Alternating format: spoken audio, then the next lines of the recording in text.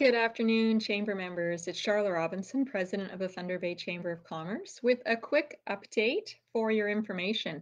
The Canada Emergency Rent Subsidy applications opened today and are retroactive back to September 27th. So if you are a business that is eligible for the new Canada Emergency Rent Subsidy, this is the day to, uh, to get your application in.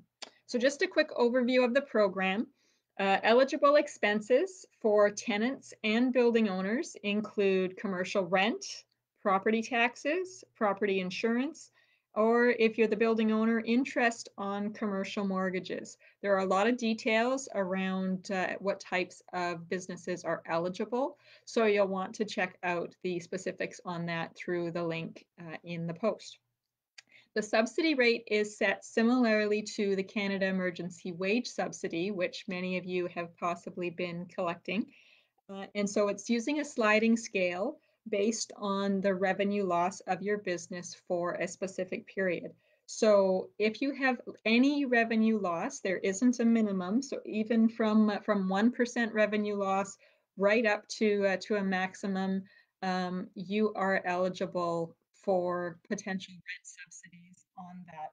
There is a calculation, uh, and of course, those who have a higher revenue loss, so if you've lost 70% of your revenue, then your uh, base subsidy would be about 65% versus if your uh, losses are in the you know 10 15 or 20% range then there's a revenue drop calculation and it's 0.8% um, of your uh, of your total loss. So lots of information available through our website, tbchamber.ca slash COVID-19.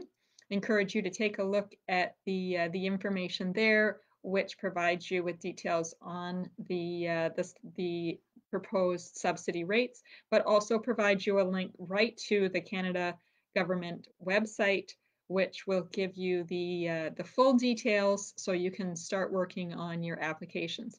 Another important thing, the government indicates that this rent subsidy will be in place until June.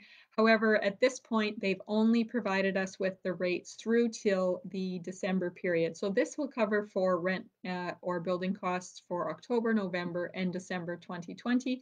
And we'll be looking for additional information in January for the period after that. Hope this is helpful. If you have questions, give our office a call 624 2626. Thank you.